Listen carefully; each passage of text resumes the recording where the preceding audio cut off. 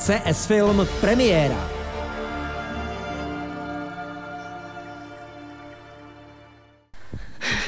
Co to děláš? Ne, nech mě, ne, ne, to nesmíš, ne, ne, ne! Odhalit vraha je prvním úkolem detektiva. Bude to pro vás těžké, pane doktore. Ale musím vás požádat o identifikaci. Jenomže to mnohdy nestačí. Zvlášť, když je oběť zapletena do složitého klubka vztahů.